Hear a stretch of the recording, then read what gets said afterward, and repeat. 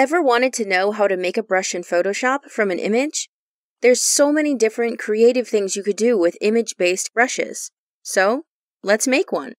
Hi, I'm Daisy from Envato Tuts Plus. In this tutorial, we'll walk through creating custom Photoshop brushes from an image. We'll focus on a custom feather brush. Before we dig in, if you love custom Photoshop brushes, there are so many awesome ones to check out on Envato Elements. From cloud brushes to leaf brushes, tree brushes, abstract ones, there's so many cool ones to download. Check out the link in the description to get started. Now let's dig in. For starters, we need to open up the image we'd like to work with. So here's my feather. This is a nice image to work with because it's already isolated. We want to isolate our subject like this so there's no background. So we need our subject to be black and any remaining background to either be transparent or white.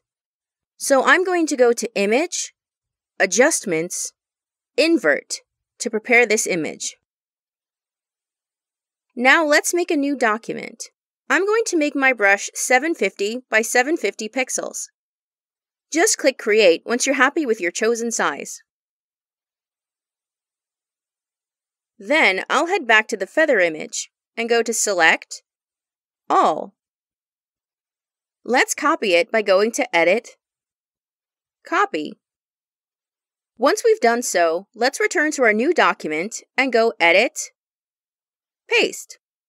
Now our feather image is pasted here in our new document, but it's way too big. So we can go to Edit, Free Transform, and then drag the resize handles here to fix that. I can also place my cursor outside of the boundaries here, and when I see the rounded double arrow, I can click and drag to rotate my image too. The goal here is to get my subject appropriately sized and placed within this space. Once we're happy with this, you want to make sure there's no leftovers in the background or anything like that. Just our isolated subject.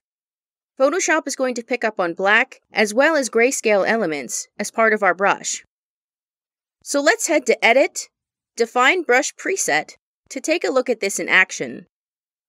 We get a preview of our brush here and we can give it a name. So let's name our brush. And then click OK to continue. And now we have our custom brush. Let's turn to a different document, any test document will do, to try out our brush. I'm just clicking to place some feathers on this really pretty cloud background. It's easy, fun, and the result is really pretty. You can really push these brushes further with things like effects and different colors. I created a second feather brush here too, using a striped feather, so I could get some variation in here. The same process applies. Use as many different feathers as you'd like. Let's experiment with a more advanced example too.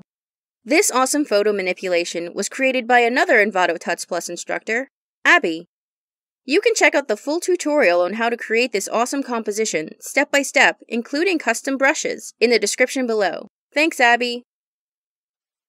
So before we add feathers to this image, note that we can also turn to our brush settings to further customize our brush. So for example, I can change the angle to make this feather face a different direction.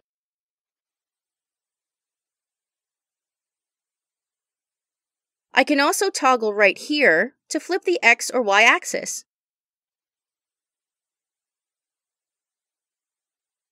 There's plenty of other options here too, like you could make your brush scatter, you could have some color dynamics, and much more.